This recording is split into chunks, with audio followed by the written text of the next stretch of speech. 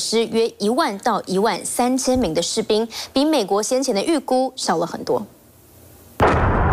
残破的村庄传来巨大的爆炸声，俄军在废弃破败的建筑之间高举枪支警戒。这是俄罗斯国营电视台释出的画面，俄军正在扫荡卢甘斯克这座村庄里的残余敌军。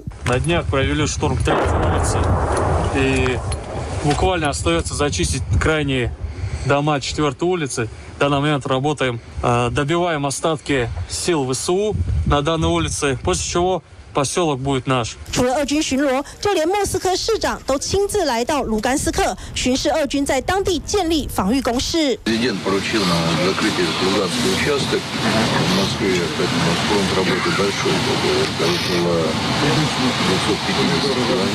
Тысячи людей сейчас из Москвы работают. Вот ребята стараются, они уже имеют уже огромный объем работы. 乌克兰在巴赫姆特的野战医院涌入大量伤患，有士兵表示自己前去前线送过补给，差点遭到炮弹击中。 Артилерія стріляла, Да, артилерію. Але ну, не, не, не прямих попадань не було, ну там трошки осколками посікло машину. О, я на силу, я їздив на дві точки, з одної точки виїхав нормально, з другої точки вже виїхав дуже погано. 乌东地区的卢甘斯克跟顿内茨克已经是乌克兰境内为数不多的激战区，因为乌军的最新情报显示，俄军似乎准备依循赫尔松模式，从扎波罗热地区撤离平民。 They've reportedly pulled out of at least three settlements after Ukrainian strikes behind the front lines. Ukraine says Russia has also started a census of parts of the region, allegedly to prepare civilians for evacuation. 乌克兰总统顾问也公布最新的死伤数字。乌克兰方面评估，从二月开战以来，已经有大约一万到一万三千名乌军在战场上丧命，比先前美国评估的战损还要少了许多。TVB 的新闻与摄影综合报道。而乌克兰东部四州在十月被俄罗斯兼并之后，至今仍是争议不断。最新消息是，普京将会在适当时机来进行造访。详情，请记者佳琪告诉我们。俄乌战争开打已经超过九个月的时间了，不过俄罗斯并没有因为这时间拉长而让他们的攻势变得比较弱一点。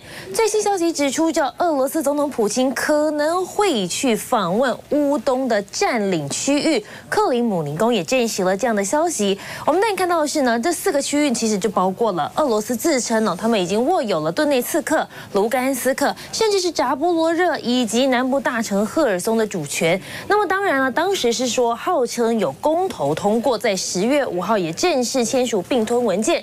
不过在国际上，大家都认为这公投不具正当性。而现在呢，普京在这九个多月的战事过后，又说他可能要到乌东的占领区这边来看一看。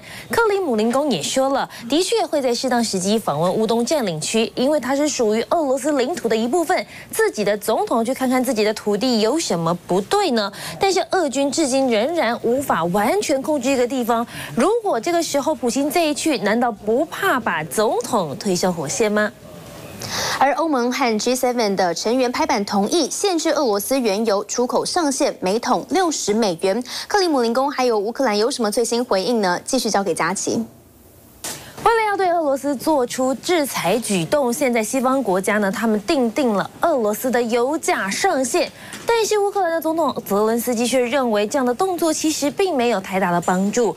原来呢，就是这个 G7 工业国，还有欧盟国家以及澳洲，他们自己达成了协议，说呢。俄罗斯的油价每桶是六十元美元为上限，那么欧盟将对俄罗斯的原油海运实施禁运行动。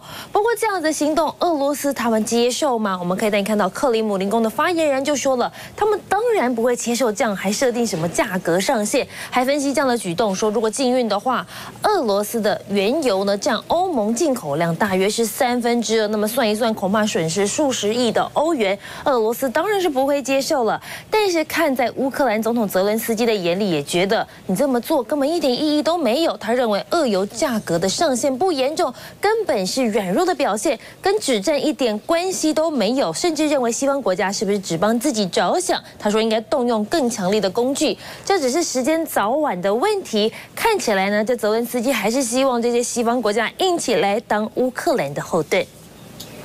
That bloc, along with the G7, have agreed to set a $60 a barrel price cap on that crude. 西方国家再联手瞄准第二大原油出口国俄罗斯，拍板定案，祭出油价上限，阻止能源价格持续窜升。This price cap has three objectives. First, it strengthens the effect of our sanction. Second, it will further diminish Russia's revenues. And thirdly, at the same time, it will stabilize global energy markets. 各国想借此断了俄罗斯续战的经济来源，目的要逼普京松口停火谈判。但克里姆林宫发言人佩斯科夫放话，拒绝接受控制石油价格。As President Putin knows best, this war could stop today If he chose to stop it and withdrew his forces, and then negotiations can can begin. 美国高阶外交官访问基辅，话说的更是严厉，认为普京种种行径根本不愿意和谈。乌克兰则认为最新制裁力道太弱。доларів замість, наприклад, 30, про які говорили зокрема Польща і країни Балтії, то російський бюджет отримує на рік близько 100 мільярдів доларів.